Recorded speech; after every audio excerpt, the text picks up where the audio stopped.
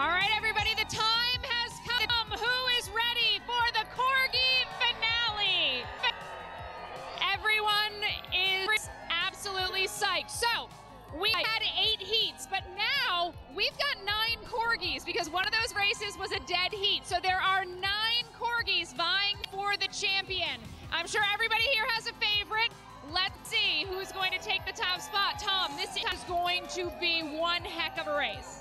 Absolutely. The 2022 Corgi Championship is upon us here at Emerald Downs as the Corgis have assembled on the track, and we're just moments away from the championship. A field of nine will race off the mark. Who will it be?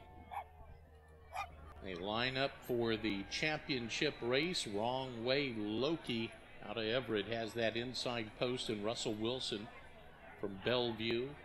Bailey, post three out of Seattle. Here's a look at Norman, number four. We move on to number five. Outland's Willow Wisp from Vancouver. Milo Benz is number six out of Puyallup. Number seven is Solo, racing out of Orting, Washington, close by. From post position number eight is Darby from Bonney Lake. And on the outside, number nine is King Leo from Kirkland. And that's your field for the 2022 Corgi Championship here at Emerald Downs. They stand at the ready. And the flag is up. And Corgi's away. King Leo off to a good start. Oh, and they're really tight quarters to the finish on the inside. Wrong way. Loki was close with Bailey. We have yet another photo finish, but wrong way Loki may have gotten clear in the late stages. We'll have to look at the replay. What a race. Everybody was in tight quarters in this one.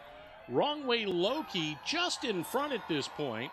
But right there is Bailey. Those two take it to the finish. Wrong way. Oh, and on the outside we had one too. So we may have to look at this again. Let's take a look. Did Norman perhaps from the outside was right up there in the photo finish? Wrong way Loki and Bailey. All three fighting it out to the wire. Here comes the finish. Who got the nose down? Here we go again. We'll have to defer to the judges track side. And there you see Wrong Way Loki just enough. Won it by a whisker. Wrong Way Loki has been declared the official winner in yet another tight finish. Time to check in with Alex at the winner's circle. So this is another story of redemption. Last year, he ran the wrong way. He was going to take four, uh, first and then just went the wrong way. So this year he promised not to do the same thing, and he didn't. He didn't at all. How proud are you? So proud of him. He's gonna get a lot of treats.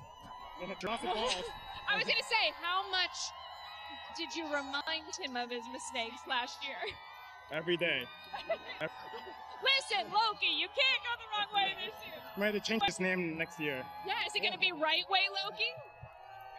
Well, Reigning champ? we'll see. Maybe wrong way again. So we don't want to think so. Yeah, that's true. You don't want to mess with it. Oh, so what's the evening hold for this winner?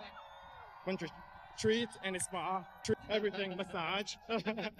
And you think you'll be back next year? oh, sure. I would imagine all you folks are going to be back next year to vie for this spot. Yeah. My other question is, does he have room for this trophy? Yeah. Loki, where are you going to put that? Is that four feet?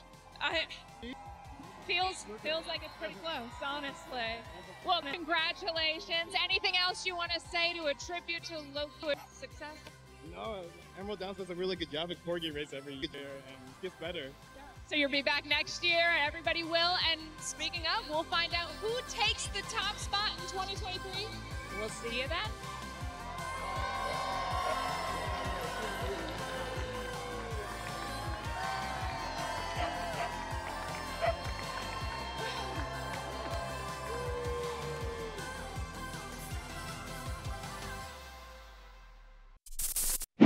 Thanks for watching ESPN on YouTube. For live streaming sports and premium content, subscribe to ESPN Plus.